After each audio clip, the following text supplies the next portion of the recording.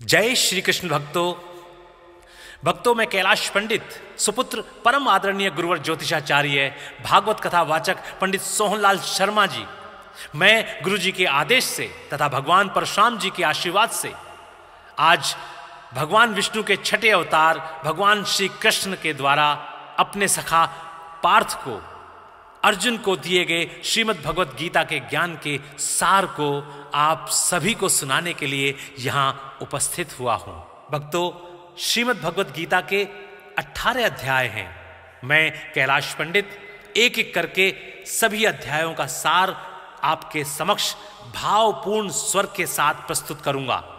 मैं गीता सार को आरंभ करूँ, उससे पूर्व कृपया आप सभी हमारे इस चैनल को अधिक से अधिक संख्या में शेयर करके सब्सक्राइब कराएँ, जिससे सभी सनातन धर्म प्रेमियों के पास ये गीता सार पहुँच जाए और उन्हें धर्म लाभ प्राप्त हो, उनका कल्याण हो। तो बोलिए, भगवान श्री कृष्ण की जय। ॐ भगवते वासुदेवाय नमः। बोलिए श्री कृष्ण महाराज की जय। प्रिय भक्तों, श्रीमद् भगवत गीता सार का नवा अध्याय आरंभ करते हैं। श्री कृष्ण भगवान जी बोले हे अर्जुन, तुम में ईर्षा नहीं है। इसलिए यह अति गुप्त शास्त्रीय ज्ञान और अनुभव तुमसे कहता हूँ। इसे जानकर तुम्हारा अशुभ नहीं होगा। यह ज्ञान सब विद्याओं में श्रेष्ठ तथा सब गोपनीयों में गुप्त एवं परम पवित्र, उत्तम, प्रत्यक्ष फल वाला और धर्म युक्त है। साधन करने में बड़ा सुगम और नष्ट नहीं होता। हे परंतप इस धर्म पर जो श्रद्धा नहीं रखते, वे मुझे नहीं पाते। और इस मृत्यु युक्त संसार में बार बार लौटते हैं। मैं अव्यक्त हूँ और मैंने ही यह सब जगत प्रकट किया है। सब प्राणी मुझमें ही स्थिर हैं। किंतु मैं उनमें नहीं हूँ। मुझमें सब भूत भी नहीं हैं। मेरा यह ईश्वरीय कर्म देखो। मेरी ही आत्मा सब भूतों का पालन करती हुई भी नियत नहीं है। जिस प्रकार सर्वत्र बहने वाली महान वायु समस्त आकाश में व्याप्त है, उसी प्रकार सर्वत्र भूत मुझमें है। ऐसा समझो। हे कौनते, सभी जीव कल्प के अंत में मेरी प्रकृति में आ मिलते हैं और कल्प के प्रारंभ में उनको फिर उत्पन्न करता हूँ। अपनी प्रकृति का आश्रय लेकर, उसके गुण व स्वभाव वाले समस्त भूत वर्ग को मैं बार बार उत्पन्न करता हूँ।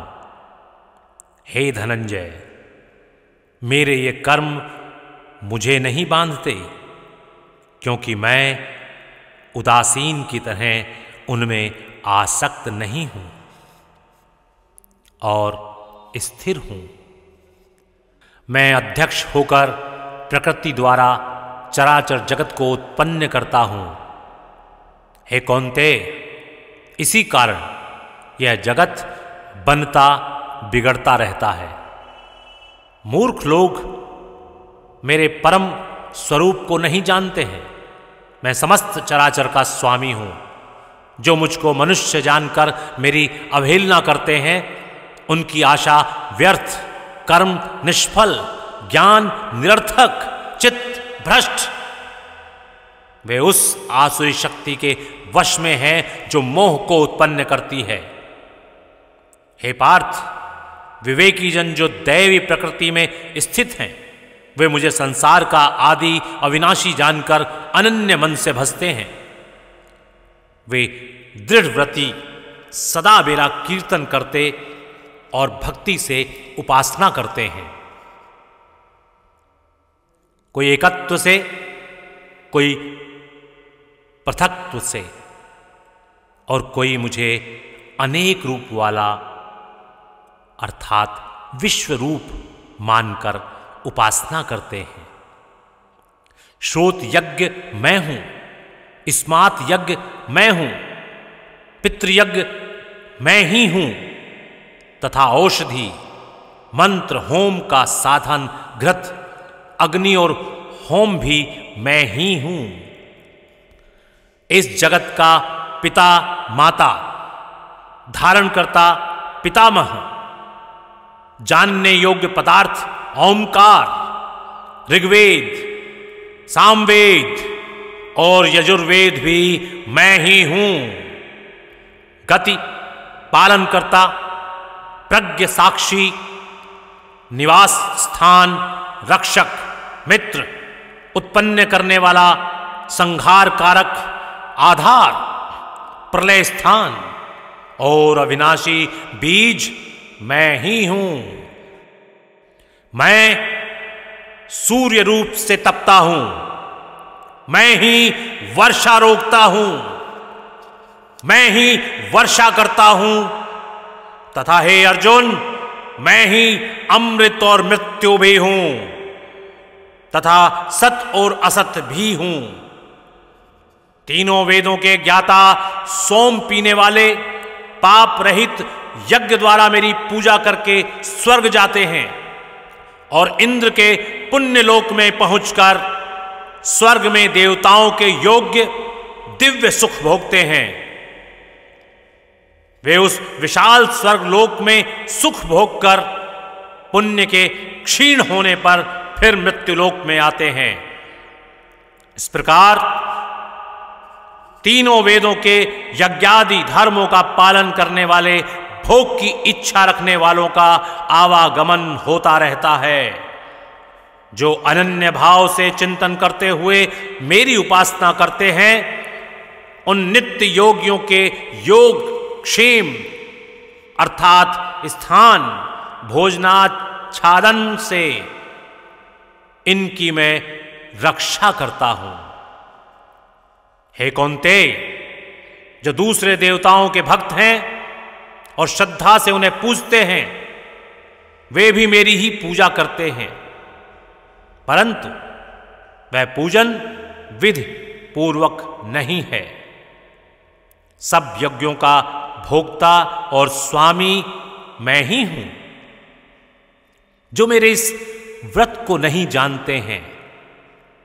वे आवागमन से नहीं छूटते हैं। देवताओं के पूजने वाले देवलोक को प्राप्त होते हैं, पितरों के पूजक पितृलोक को पाते हैं, यज्ञादिकों के पुजारी यज्ञलोक को जाते हैं और मेरा पूजन करने वाले मुझे प्राप्त होते हैं। भक्ति से पत्र, पुष्प, फल या जल जो मुझको अर्पण करता है, उस शुद्ध अंत्यकरण वाले व्यक्ति के भक्ति से दिए हुए पदार्थ को मैं बड़ी प्रसन्नता से ग्रहण करता हूँ। हे कौनते, जो तुम करते हो, खाते हो, वह सब मेरे अर्पण करो। ऐसा करने से कर्म बंधन रूप शुभ, अशुभ फलों से मुक्त हो जाओगे और सन्यास योग में युक्त होकर मुक्ति व मुझको अवश्य पाओगे। मैं समस्त भूत के समान हूँ। न कोई मुझे अप्रिय है, न प्रिय है। जो कोई मुझको भक्ति से भजता है, वह मुझमें है और मैं उसमें हूँ। यदि कोई दुराचारी भी हो और अनन्य भाव से मेरा भजन करे, उसको मैं साधु ही मानता हूँ, क्योंकि उसने उत्तम मार्ग ग्रहण किया है, वह शीघ्र ही धर्मात्मा होता है और चिरस्थायी शांति को पाता है। हे कौनते, यह निश्चित करके जानो कि मेरा भक्त कभी नाश को प्राप्त नहीं होता। हे पार्थ, मेरा आश्रय पाकर नीच कुल में उत्पन्न स्त्रियाँ, वैश्य और शूद्र भी उत्तम गति को पाते हैं। फिर जो पुण्यवान भक्त राजऋषि और ब्राह्मण हैं, उनकी तो बात ही क्या है? अतः इस नाशवान और दुख भरे संसार में जन्म पाकर तुम मेरा ही भजन करो। मुझमें ही मन लगाकर मेरे भक्त बन जाओ। फिर मेरी पूजा और मुझे नमस्कार कर मुझमें लो लगाए रखकर मुझमें ही लीन हो जाओ। बोले श्री कृष्ण भगवान की जय। भक्तों, इति श्री श्रीमद्भागवत गीता सार, नवम अध्याय, हरे नमः। बोले श्री कृष्ण भगवान की जय।